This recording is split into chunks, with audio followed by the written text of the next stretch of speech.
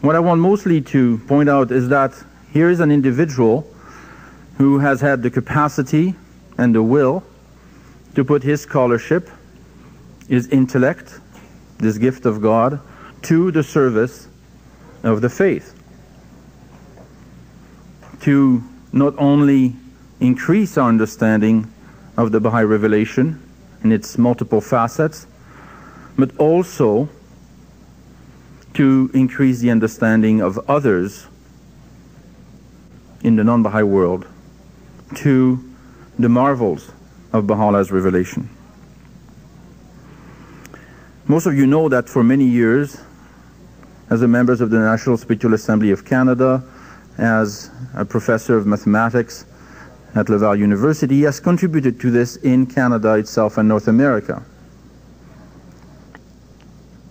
But you may not know or may not realize that for five years Dr. Hatcher lived in Russia and contributed to the rising awareness of the faith in Russia, particularly among intellectual circles. He spent two and a half years specifically as an invited researcher at the Steklov Mathematical Institute in St. Petersburg. And he was, of course, in contact with many intellectuals, scientists in Russia. And uh, Russian mind is a very sophisticated mind which does not easily become convinced of anything. And therefore, having had the opportunity of having Dr. Hatcher being in Russia in order to, to raise the profile of the Baha'i faith was certainly an achievement. Let me just say one last word. Dr. Hatcher is mentioned in uh, the Encyclopédie philosophique universelle as one of the eight contemporary Platonist philosophers. I think that it is uh, quite an achievement in itself to be recognized by this encyclopedia, which is uh, the largest encyclopedic work prepared since Diderot Encyclopedia in the 18th century. Dr. Hatcher is going to talk to us about love, power, and justice. Dr. Hatcher.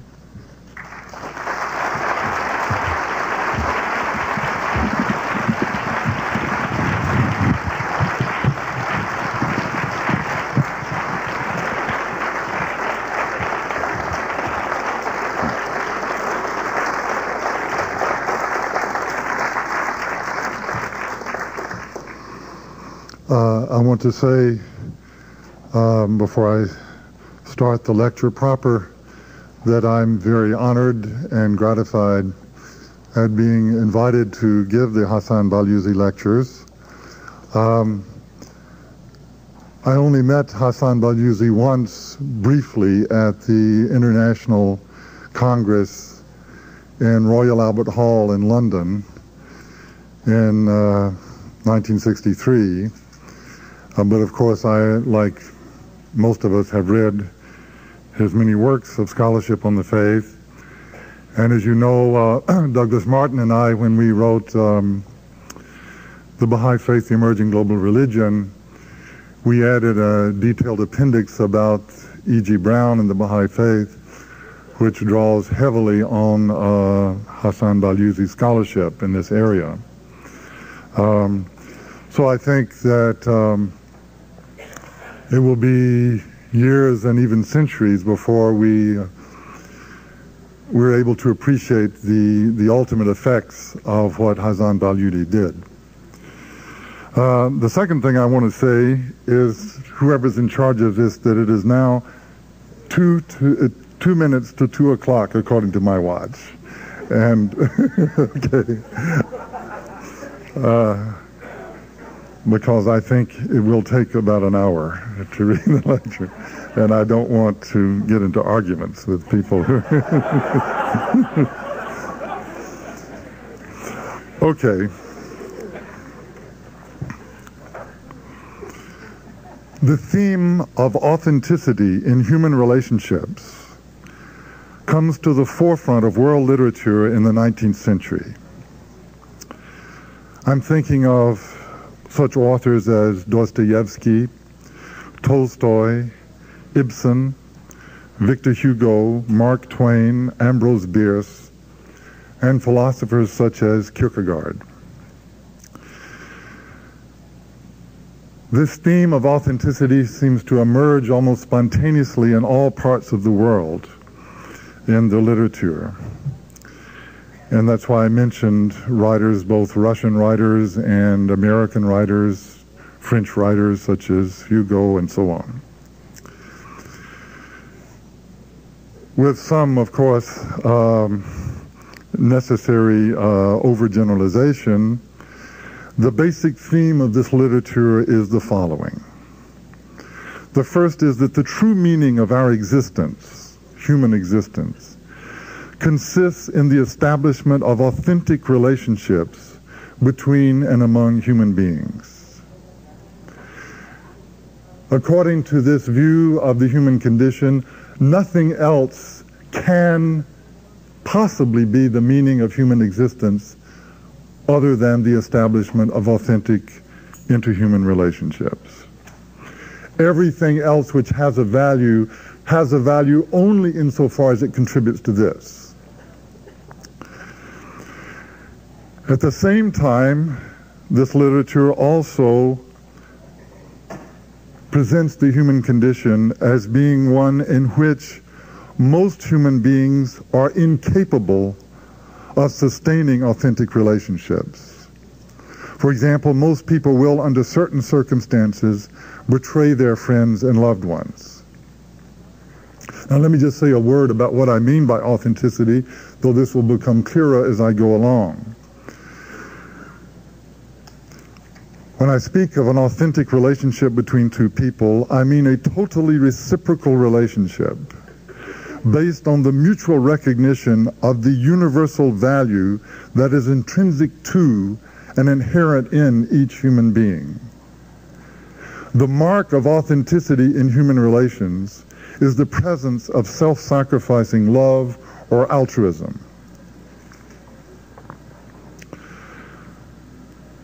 Now, these perceptions of these writers, of these um, literary geniuses, uh, no less a figure than Harold Bloom uh, in his recent book, uh, The Western Canon, has said that in his opinion, Tolstoy is perhaps the greatest writer since Shakespeare, and that Tolstoy is the only one who approaches Shakespeare's uh, ability to depict the human condition in all of its uh, richness.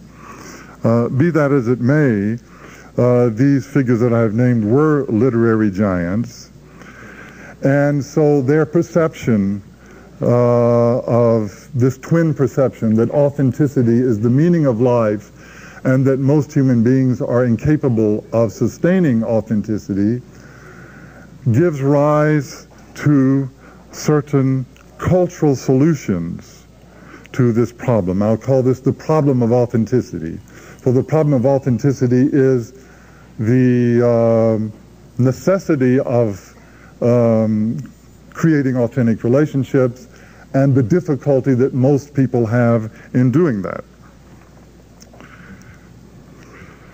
So I want first to look at several different cultural solutions the thesis that I will be presenting in the first instance is that the great ideologies of the 20th century have been driven by the various cultural solutions to the problem of authenticity. In other words, I've come to believe, and I will defend this thesis in the course of my lecture, that it is not the logical content or the substantive content of these ideologies which has of any significance whatsoever. That these ideologies are all symbolic of the frustrated will to authenticity. This also will become clear as I go along. So let me uh, give some examples.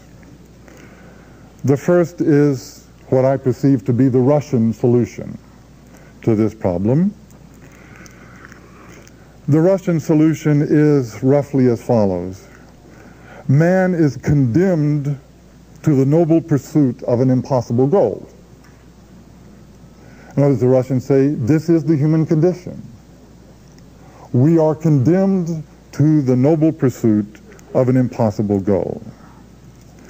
The meaning of life then consists not in external success, which is largely considered to be impossible in any case.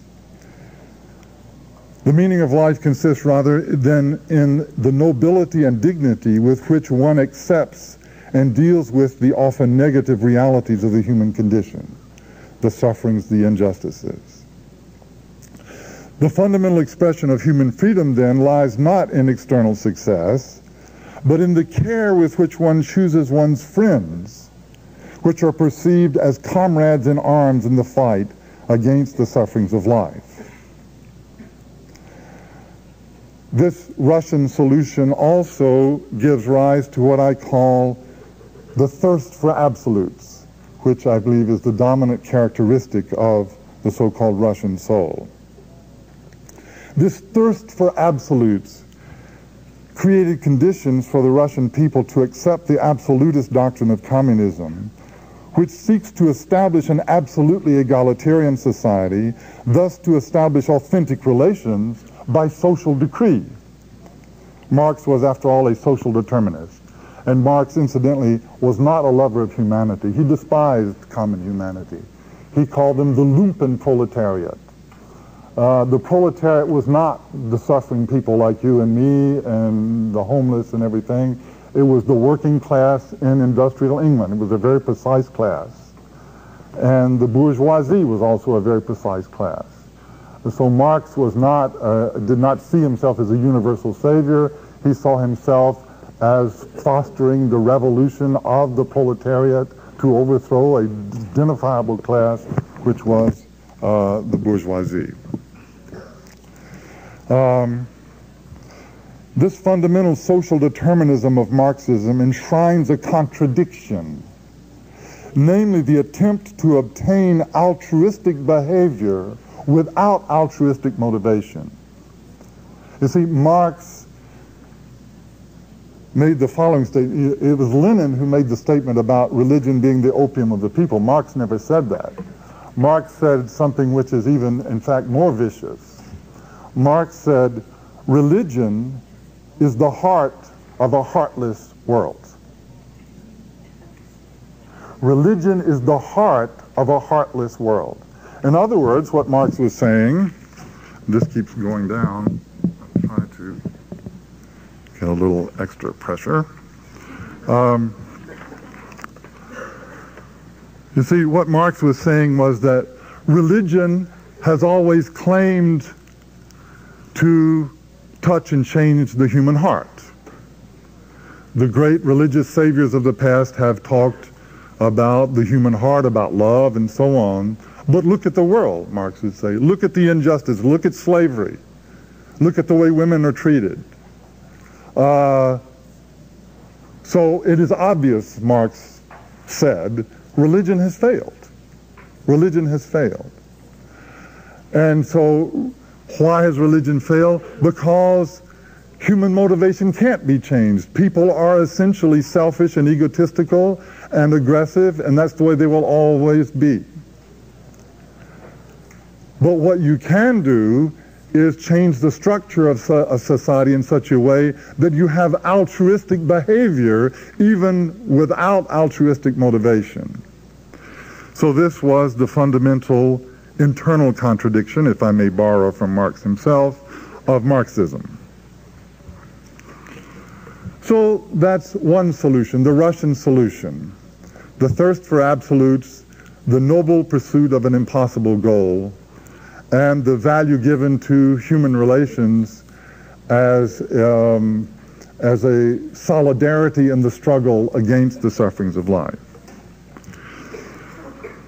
Now, let's go to the other pole and look at what is the American solution to the problem.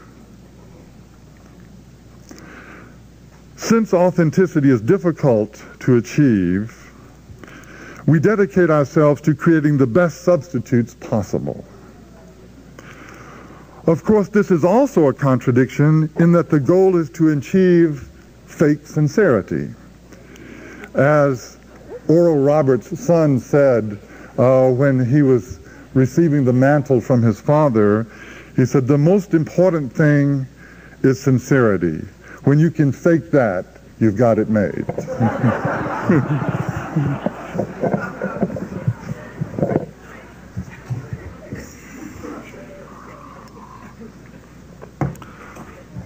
So, starting with Hollywood movies in the beginning of the century, which all have about three different plots that are essentially the same, um, leading to the Disney view of life and eventually to Disney worlds, with television beginning in the 1950s and now virtual reality, American culture has become a vast machine for the generation of illusions.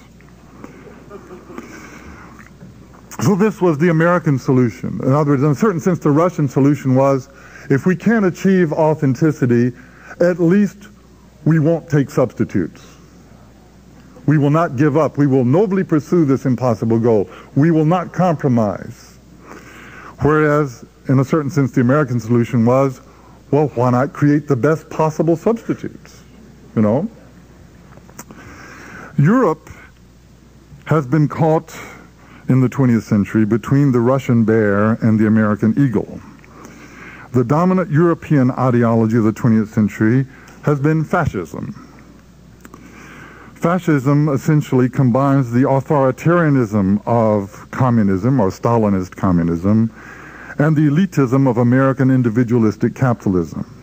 It is, so to speak, the worst of both worlds. Now, my thesis, again, is that these movements, which have largely determined the character of life in the 20th century, have been mainly driven not by their abstract ideological content, which has been endlessly debated, but rather by the fact that they are expressions, however distorted, of a frustrated will to authenticity. These ideologies served, I believe, as psychological defense mechanisms to avoid confronting the frustration of relational authenticity. They serve to legitimize inauthentic behavior, such as, for example, making heroes out of murderers, rapists, and torturers. In other words, this inauthentic behavior, grossly inauthentic, uh, becomes not a blight on your character, but you become a hero if you torture in the name of Marx or, or Hitler or whatever. So, um, in other words, I'm saying that you will not derive any useful understanding of Russia or Russians by an intellectual analysis of Marxist theory but rather by looking at the thirst for authenticity that made the Russians willing to embark on the communist experiment on such a vast scale. As a matter of fact,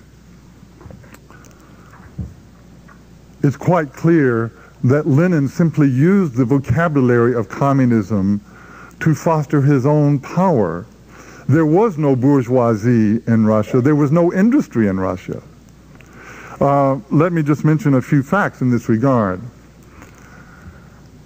The Russian serfs were freed in 1861 by Tsar Alexander II. At that point, in 1861, 90% of the population of Russia was in slavery. 90%.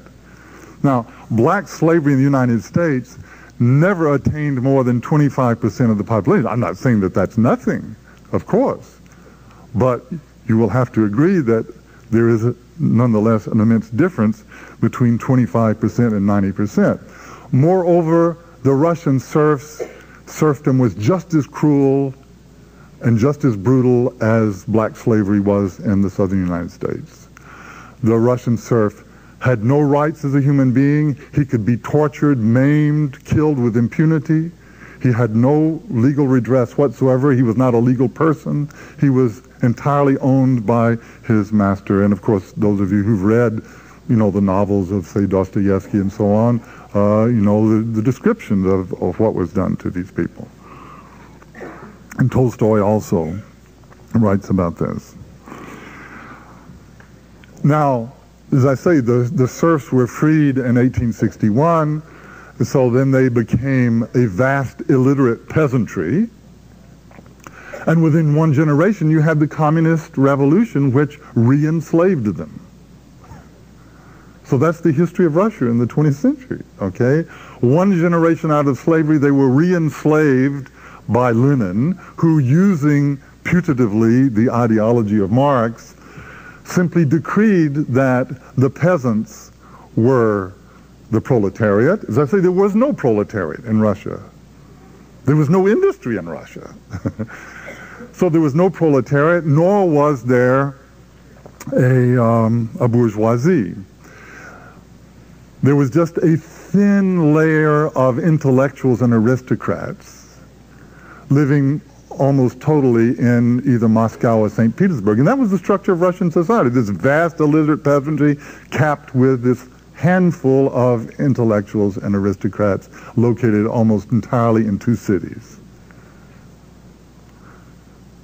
So, as I say, at that time, in the beginning of the 20th century, everybody was talking about socialism.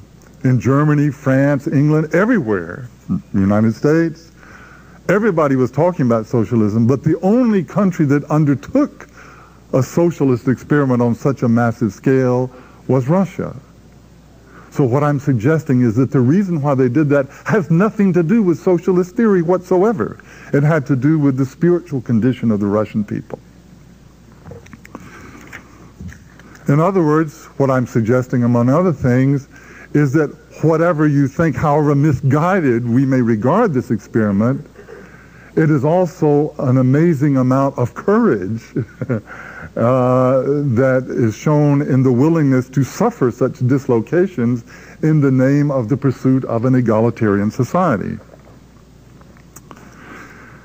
Similarly, in my view, we cannot understand America in terms of the endless public prattle about democracy and human rights but rather when we see that American culture is primarily about self-indulgent attempts to avoid even the minimal degree of pain and suffering and self-restraint that is necessary to the achievement of authenticity in human relationships. This, I think, explains the insensitivity of Americans to the prevailing suffering that exists in that society. According to official government statistics of the U.S., one-fifth of the population lives below the poverty line. Most of these are single black mothers.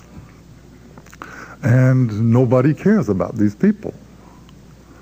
Uh, because, again, there's the myth that America is the land of opportunity. Everybody can go as far as their abilities can carry them. Everybody's free to pursue their success. So if these people have chosen to have babies out of wedlock instead of getting a good education and a good job, well, that's their free choice. There's no social injustice and so on, you see. So how does one remain insensitive to this degree of suffering?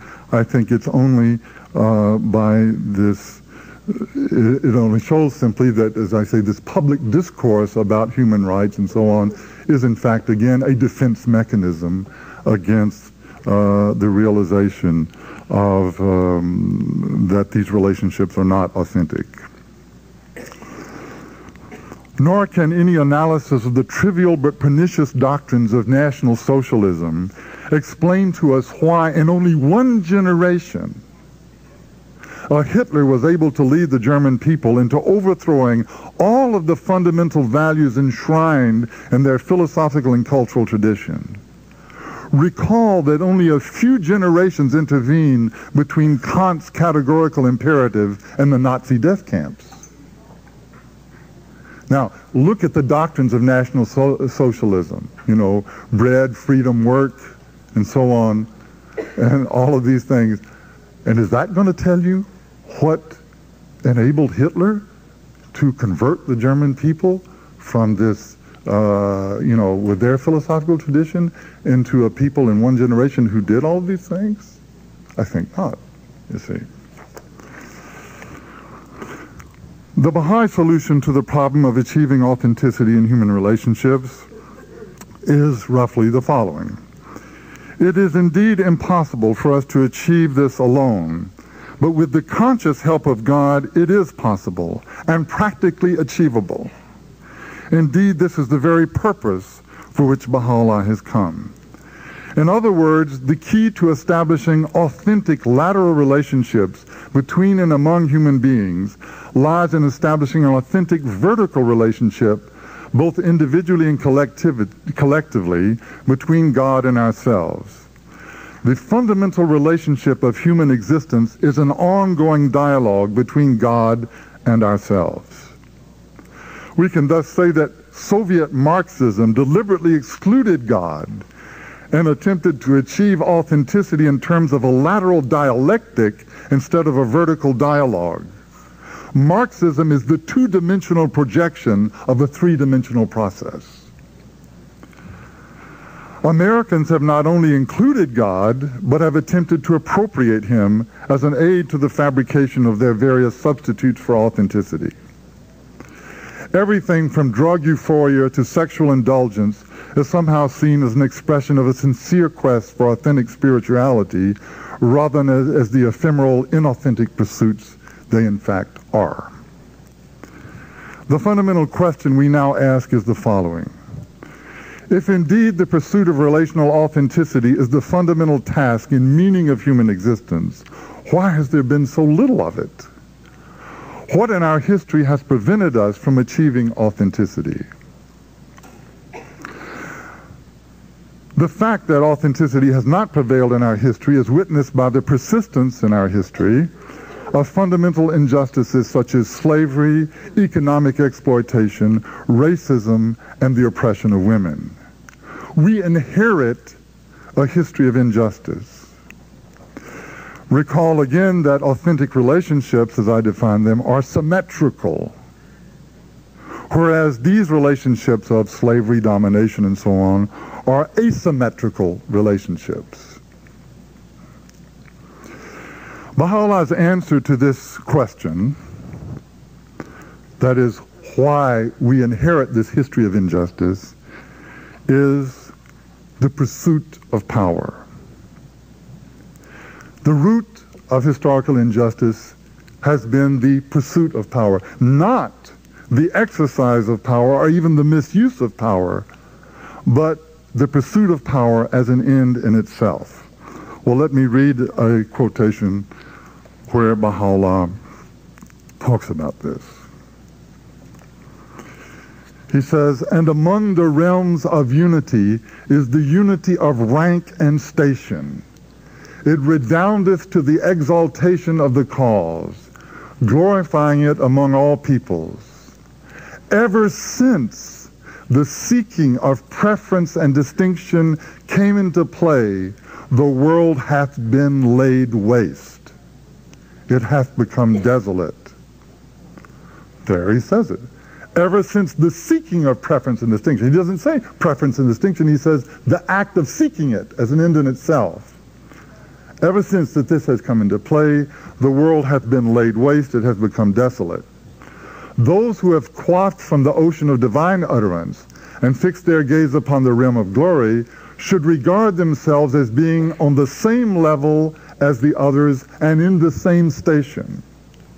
Were this matter to be definitely established and conclusively demonstrated through the power and might of God, the world would become as the Abha paradise. Well, we say that that's what the Baha'i Faith is about, is bringing about the kingdom of God on earth, and we know that the Abha paradise is the metaphor that Baha'u'llah uses to describe the kingdom of God. So Baha'u'llah is telling us right here what is the essential condition for bringing about the kingdom of God on earth. In other words, for accomplishing the goal, the stated goal of the Baha'i faith. It is the renunciation of the pursuit of power. Were this matter, those, he says, who have fixed their ocean and so on and so on, fix their gaze on the ocean of divine utterance and so on, should regard themselves as being on the same level and station as the others. In other words, they should renounce the pursuit of power. The only way you can consider yourself on the same level and station as everybody else is not to seek power over other people, right?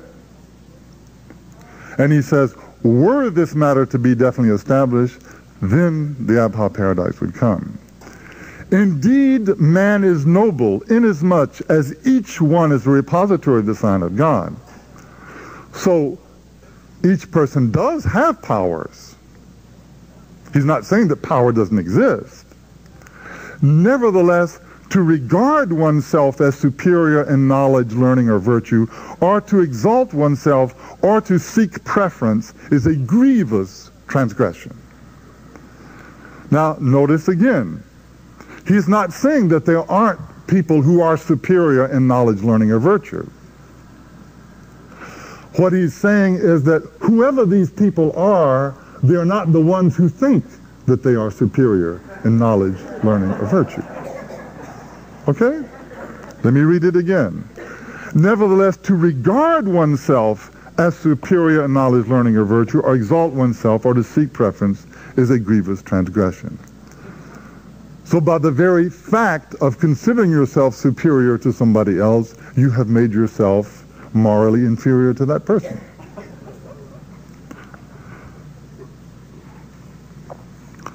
So, in this and other passages, Baha'u'llah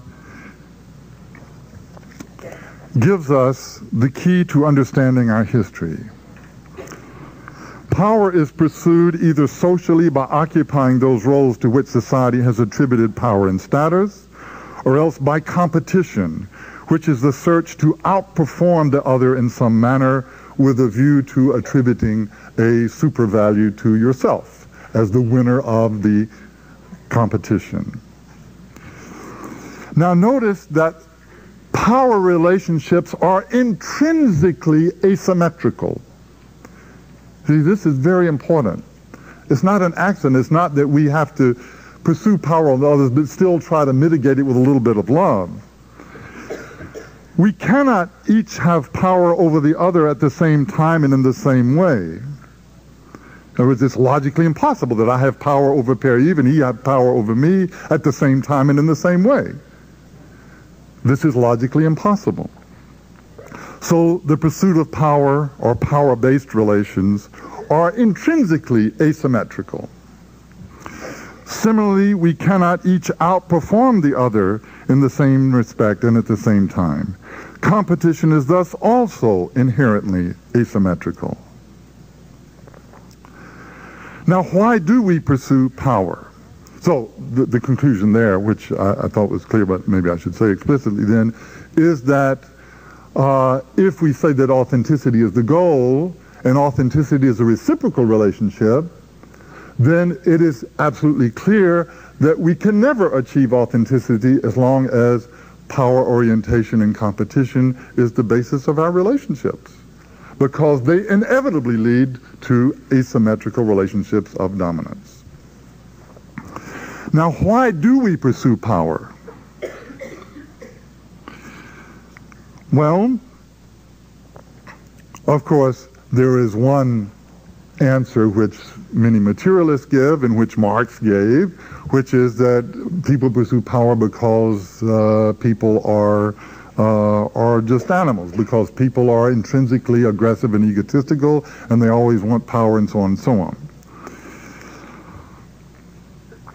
However, the Baha'i Faith gives another answer, and so I, I won't waste time sort of refuting the, uh, the materialist answer, though I do do this in the Love, Power, and Justice book. I do I have uh, a couple of pages where I go into detail into a refutation of the materialist viewpoint as being unscientific. But the Baha'i Faith puts forth the following proposition that the pursuit of power is really the pursuit of self-value attribution. We exercise power over another by threats and promises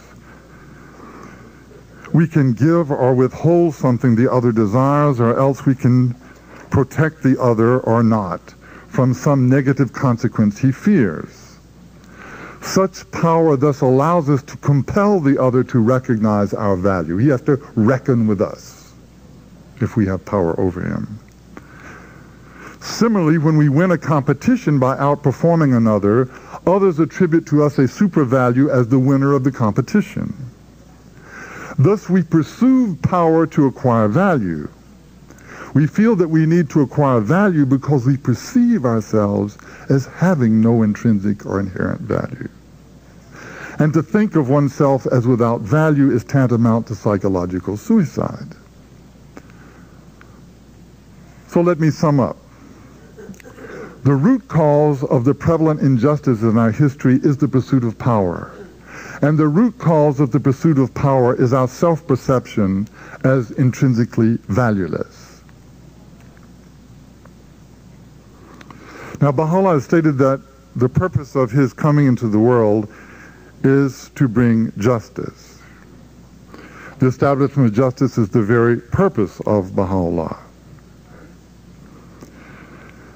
Now, we inherit this history of injustice, but notice that there's nothing we can undo, do to undo this history of injustice. It will forever be true through all the worlds of God. It will always have been true that the blacks were enslaved by the whites in the southern United States. Nothing, no future thing will ever change that fact. All of the injustices of the past exist forever. So if we insist, as people tend to do, that the only way to achieve justice is to undo the past, then we will never have justice. We, in fact, have no control over the past, and we have very little control over the future. The only thing we have any degree of control over is the present, how we act at the present. So we cannot have a future that will be different from our past if we continue to act in the present the way we've acted in the past. That's logic. Right? Let me say this again because it has the satisfying ring of truth, right? If we act in the present the way we have acted in the past, then our future will be like our past. Can anybody refute this argument? And therefore, it follows that the only way to have a future different from our past is to change the way we act in the present. There is no other way. So all of the discussions and the conferences and everything else you want to talk about only have meaning insofar as they end up with changed human behavior at the present moment. Until that happens, our future will continue to be a repetition of the past, and injustice will remain.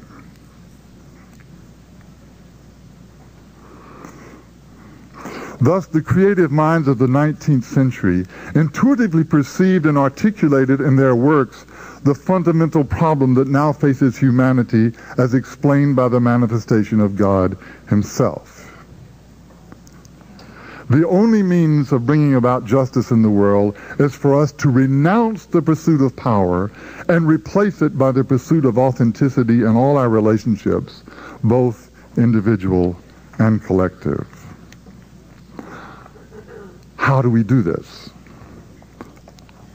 How do we go about renouncing the pursuit of power? Well, first we must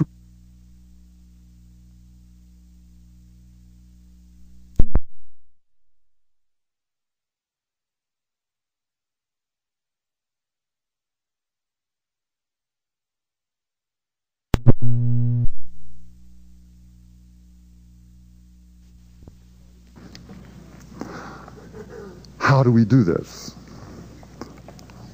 How do we go about renouncing the pursuit of power? Well, first we must remove the motivation for pursuing power. First, then, we must gain the universal recognition of intrinsic value both in ourselves and others. This value is nothing else but the inherent capacities of each human soul, more particularly the fundamental capacities of consciousness, of mind, of heart, and will. In fact, it is this unique, uniquely human consciousness which defines us as human beings. Let me give a very simple example of this, but maybe it's so simple that it's almost silly, but but bear with me. Uh, why consciousness flows everything else? Our understanding, our feelings, our affections, our will, everything flows from this consciousness. And every human being has this. Every human being has this. The Baha'i writings tell us that these capacities are inherent in the very nature of the non-material, immortal soul of each individual, and thus intrinsic. And they are shared by all humans. Baha'u'llah tells us, as you know, that every single human soul has the capacity to reflect all of the attributes of God. I mean, it could have been that some souls could reflect some attributes and other souls other attributes, but Baha'u'llah says no. Every single human soul has the capacity to reflect all of the attributes of God. So this is, if you will, the logical definition of a human being. The human being is that unique being or entity in creation whose essential reality is the capacity to reflect all of the attributes of God. As Baha'u'llah explains, everything else in creation reflects some attributes of God, but not all of them.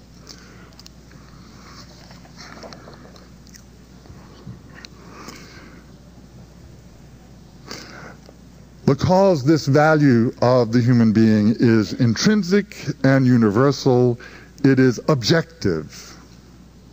That is, it exists independently of whether or not we perceive it.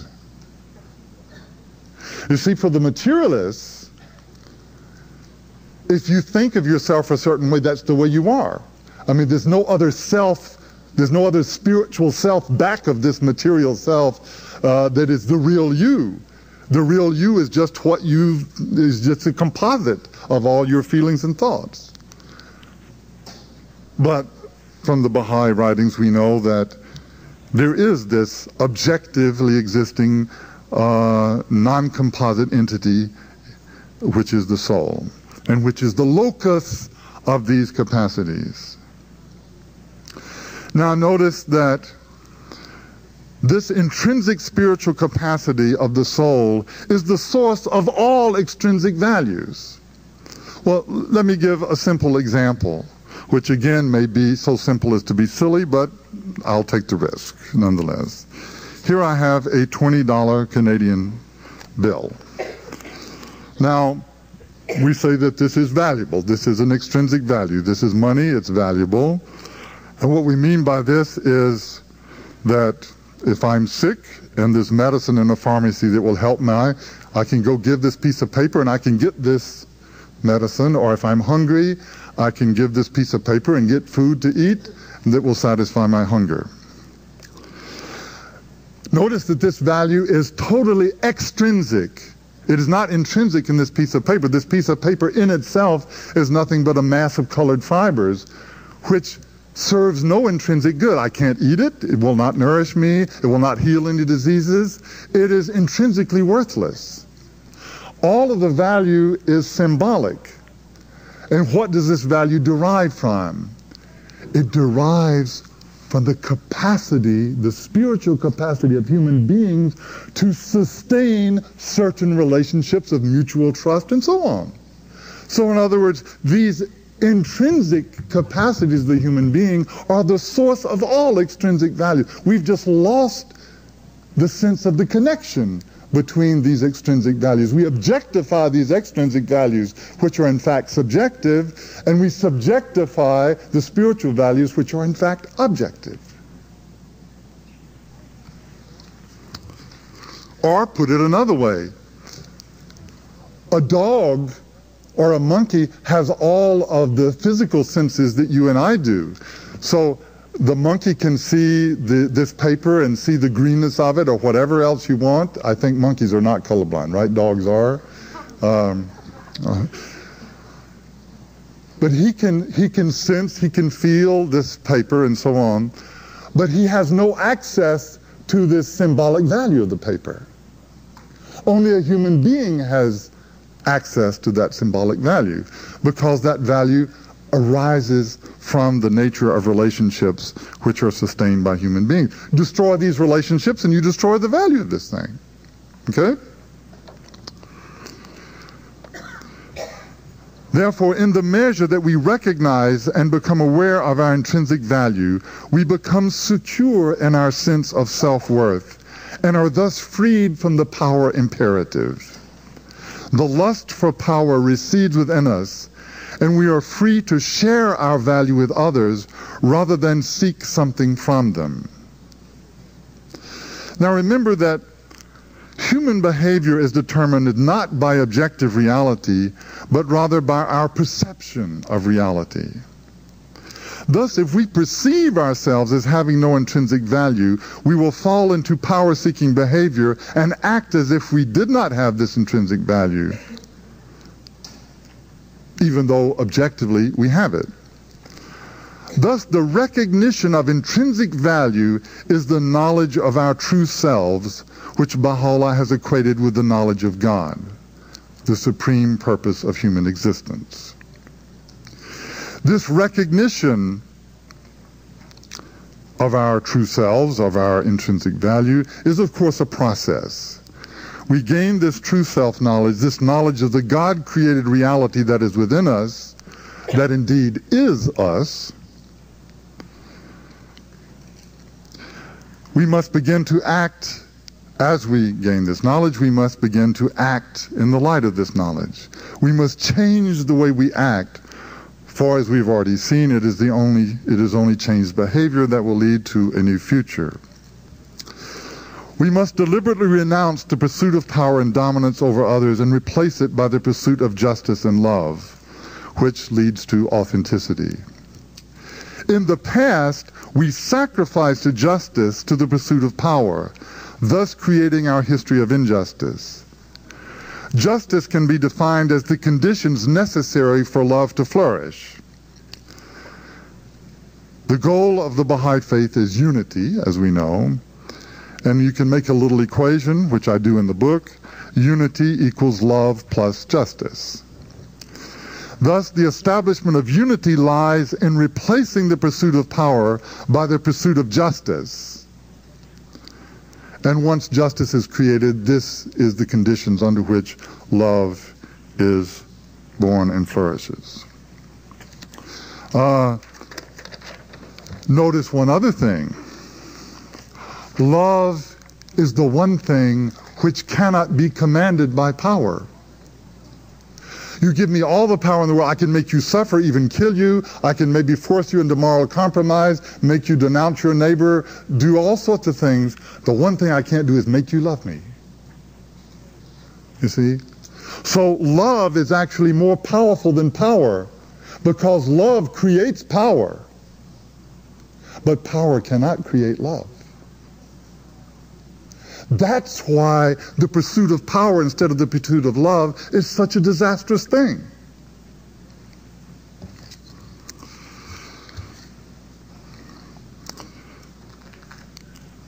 Now, another aspect of renouncing the pursuit of power is the renunciation of competition and replacing competition by the pursuit of excellence.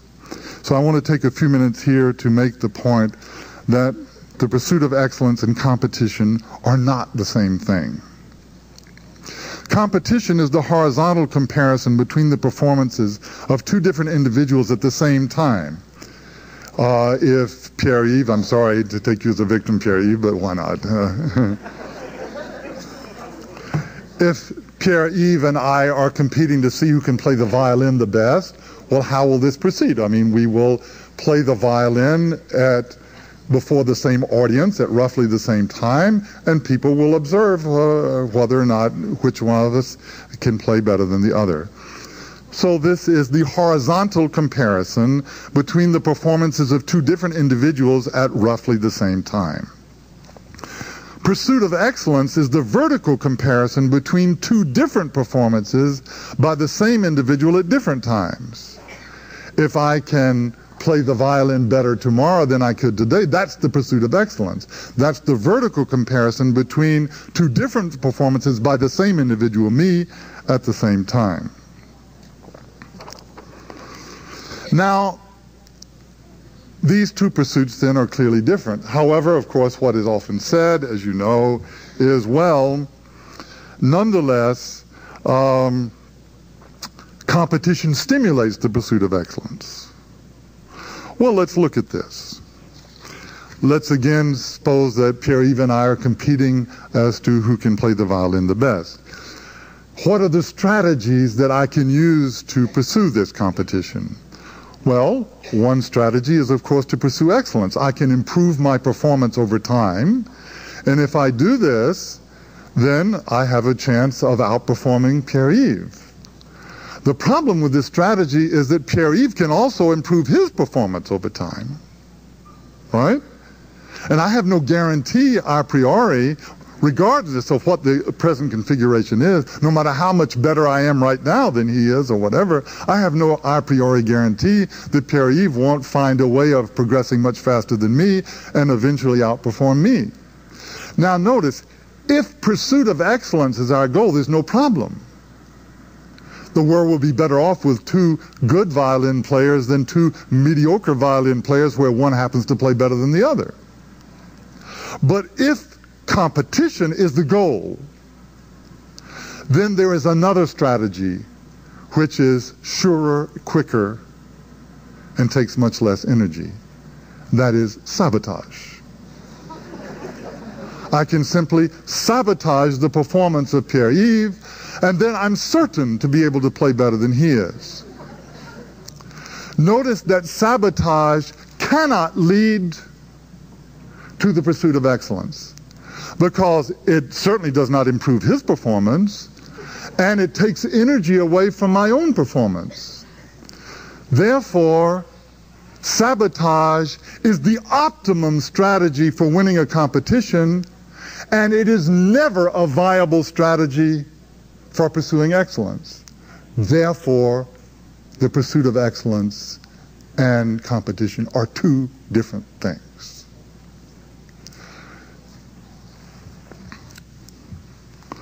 Now,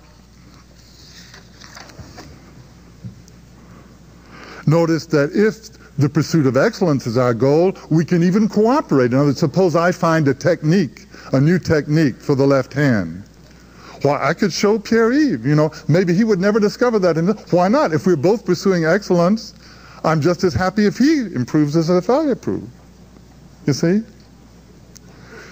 If you begin to think about these things, you will realize, and I can only urge you to think about them, you will realize how deep competition is embedded in all your relationships with everybody you're relating with.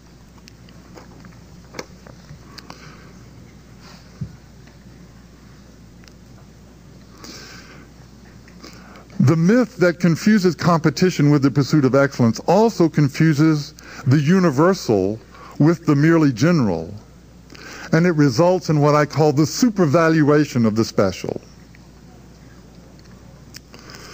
Whenever we encounter each other, we can choose to emphasize whatever differentiates us or whatever unites us, what we have in common. By its very nature, competition puts the emphasis on our differences Thus, when competition becomes the prevalent mode of human interaction, such as in the highly individualistic society of North America, the supervaluation of the special is the result. For example, let's look at whom our society gives its resources.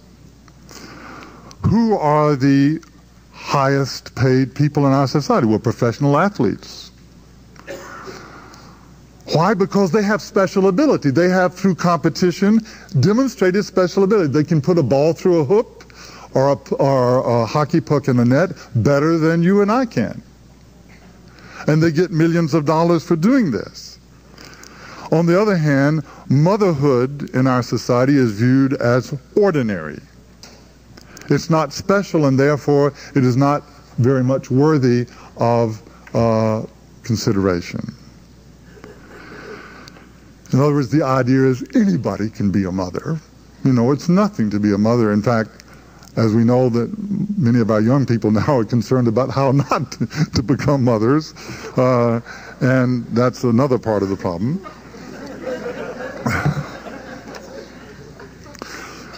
So motherhood is viewed as ordinary and being a rock star or a cinema star or an athlete is viewed as special. However, if we look at the reality of the situation, we can see that, in fact, motherhood is not ordinary at all. Examine, I invite you to observe the interaction between an ordinary mother and her children. You will see that from the moment a child is born, the mother will sacrifice her own needs for the needs of her child from the moment that child is born until it becomes an autonomous adult, and sometimes even afterwards. In other words, the mother is not God. She gets tired, she gets hungry, she gets sick. But if she perceives that her child is tired or hungry or sick, she will satisfy the needs of that child before she satisfies her own needs. Ordinary mothers do this. Now, I submit that this isn't ordinary at all. It's extraordinary. Moreover, clearly motherhood is the most vital role in society because the whole future of the human race depends on it. I mean, suppose, to make it clear, that one generation of women refused absolutely to play this role. That would be the end of the human race, literally. I think that if there was no more Michael Jordan and professional basketball, I think we could live quite a while, you know? You know? So think about it. There must be something a little bit wrong. I mean, just a little bit wrong with the society that pays $36 million a year to Michael Jordan and where one fifth of the population, most of them single mothers, are living below the poverty line. According to official statistics, God knows what the reality is. All right? There must be something a little wrong, no? I mean, maybe somewhere. You know, maybe it's more than just, you know, the war on poverty or something like Maybe there are some more fundamental value differentials going on here. Well, I would like to offer the thesis that this confusion of the universal and the ordinary results from an uncritical application of laws governing material values to those governing spiritual values. If you walk into any economics course, the first day of Economics 101, you will learn essentially the whole course, which is the basic principle of economics, which is competition for rarity. You say, I mean, if everything was abundant and freely available, there would be no need for an economy. I mean, every individual could just go get what he needs. He wouldn't, there wouldn't be any interdependence. There would be no need for work or anything. So the existence of rarity and the competition for that which is rare is the basis of all economics. This principle of competition for rarity is derived from the fact that material values are diminished when they're shared. If I have an apple and I have to share it with you, we each have part of an apple. But spiritual values are enhanced, not diminished when they're shared. If I have a good idea and I share it with you, we both have a good idea. This is a, a, an association dedicated to learning. What is learning? It's sharing good ideas. You go to hear a talk and you say, he had a good idea, he had a good insight. Well, that's what you go. You go to share good ideas. We have institutions. We spend money for universities. Why? Because we recognize that the sharing of the spiritual value of good ideas enhances their value. Or if I have love and I share it with you, is the love diminished? No, it's enhanced. In fact, the surest way to throttle love is not to share it, right? Notice also that love is the only truly win-win relationship between human beings because love is experienced positively both by giver and receiver.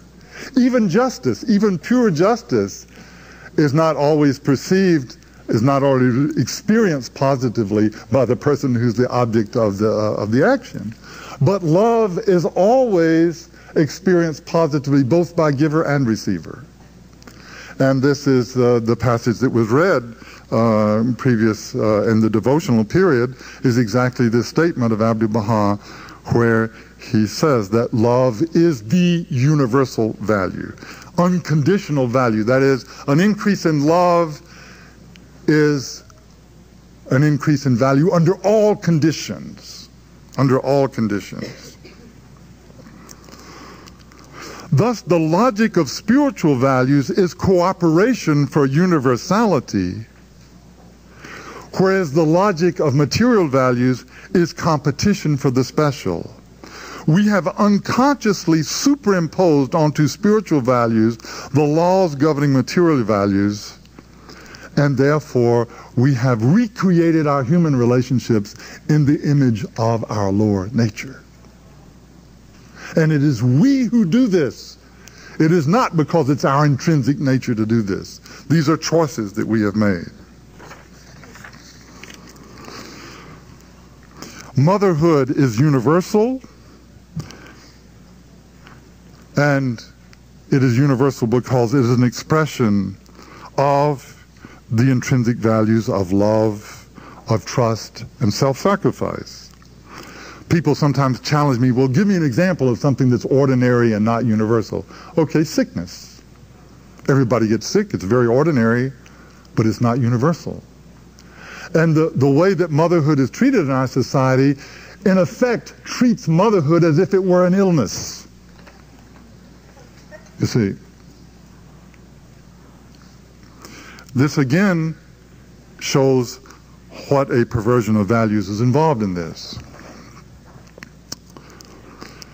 So I conclude. We have established that the central problem of the modern world is to replace the pursuit of power-based asymmetrical relations with the pursuit of authentic relations based on altruistic love. On the personal level, such a choice is within the scope of the will of each individual. Indeed, it is for this very purpose that God has endowed each of us with our intrinsic spiritual capacities. But what of the collectivity? What are we to do about those who refuse to make this choice, to renounce the pursuit of power? Baha'u'llah's answer to this question is his covenant. Baha'u'llah has constructed an ingenious system of administration of human affairs in which it is literally impossible to succeed in pursuing power. Now, of course, we know some of the features of this, such as the collective exercise of decision-making authority, uh, the electoral process without nomination in candidates, uh, the minimum of outer rewards for service on institutions, which diminishes the tendency for the egotistic individual to seek such offices or to survive in them if he does succeed.